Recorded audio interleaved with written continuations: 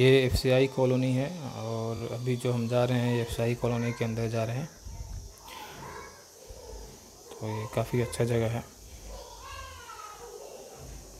But पानी का थोड़ा प्रॉब्लम है यहाँ पे। रास्ते में पानी जमा रहता है। निकलने का कहीं से जगह नहीं है शायद।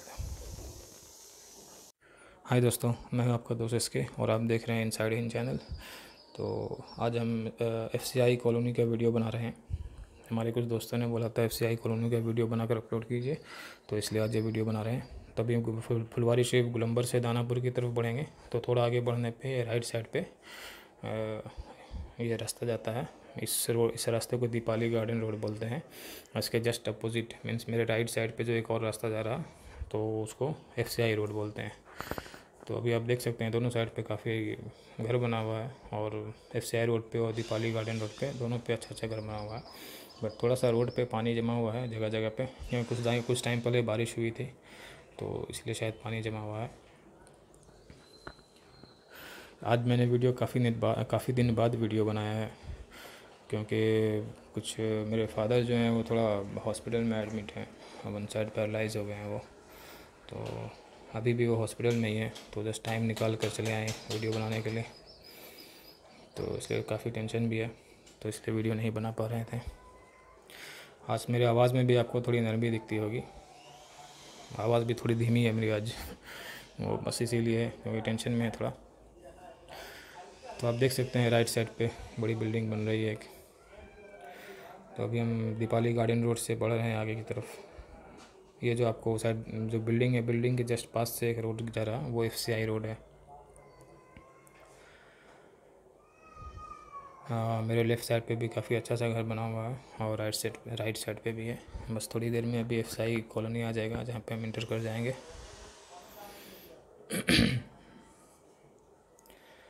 तो ये अभी, ये टर्न लिया ये टर्न लेके अभी ये अभी अंदर चले गए। ये एफ़ कॉलोनी स्टार्ट हो जाता है यहाँ से। तो आप देख सकते हैं, काफ़ी अच्छा अच्छा घर बना हुआ है। पानी थोड़ा सा प्रॉब्लम है यहाँ पे। हम कुछ दिन पहले भी आए जब सूखा था, वो टाइम पे भी आए थे। आप देख सकते हैं राइट साइड पे। अच्छे, कुछ यहाँ पे भी बिल्डिंग ही बन रही है शायद, कोई अपार्टमेंट बन रहा है। तो हम कुछ टाइम पहले यहाँ पे आए थे, उस टाइम सूखा था। तो काफ़ी अच्छा था वहाँ पे। रोड काफ़ी अच्छी थी और पानी कहीं भी नहीं था। मतलब पूरा क्लियर था और चूँकि रोड तो ऐसे भी आपको दिख रहा है, काफ़ी चौड़ा चौड़ा रोड है। तो जैसा मैंने बताया कि अभी कुछ दिन पहले, कुछ टाइम पहले बारिश हुई थी। तो इस वजह से जगह जगह बारिश का पानी जमा है। शायद नाला शायद जाम हो गया होगा। तो ऐसा कुछ होगा बट उसका आइडिया नहीं है। तो आप देख सकते हैं, काफ़ी अच्छा लग रहा है। और काफ़ी अच्छे से घर बने हुए हैं, काफ़ी बड़े बड़े घर, काफ़ी खूबसूरत खूबसूरत घर बने हुए हैं यहाँ पे। और कुछ घर का भी मैंने वीडियो लिया है। मतलब जो जैसे कुछ इस टाइप का घर जो काफ़ी खूबसूरत, जैसे ये घर देख लीजिए, काफ़ी खूबसूरत डोर लगा हुआ है इसमें। और बहुत सारे लोगों की बालकोनी इससे भी बहुत खूबसूरत है। जैसे ये बालकोनी देखिए, काफ़ी खूबसूरत बालकोनी है। तो देखें तो घर काफ़ी खूबसूरत बना हुआ है। बहुत सारा घर ऐसा है जो काफ़ी खूबसूरत है। क्योंकि ये रोड तो कंक्रीट है, बट फिर भी शायद कुछ कहीं पे कुछ काम चल रहा है, उस वजह से मट्टी उट्टी सब गिरा हुआ है। आई थिंक कंक्रीट है कंफर्म नहीं बट यहाँ पे तो कंक्रीट का रोड बना हुआ है। ये घर देखिए काफ़ी अच्छा घर लग रहा है अभी। तो सभी घर यहाँ पे आपको ऐसे ही दिखेंगे, काफ़ी खूबसूरत घर दिखेंगे।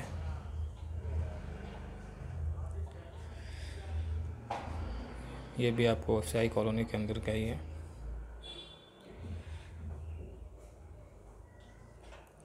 कुछ जगह भी खाली है अभी। आने वाले एक साल, दो साल में वो भी फुल हो जाएगा आई थिंक तो तो आप देखिए, जैसा होता आप मतलब कमेंट कीजिए आप कि किस, कैसा वीडियो कैसा लगा। क्योंकि मेरा मूड नहीं था एक्चुअली बनाने का। वीडियो काफ़ी अपसेट थे, लेकिन काफ़ी डिले हो रहा था। तो इसलिए फिर, मैंने ये एक वीडियो बना लिया है। तो प्लीज़ आप लोग सब्सक्राइब करें लाइक करें शेयर करें। ताकि आने वाला वीडियो आप तक सबसे पहले पहुँच सके।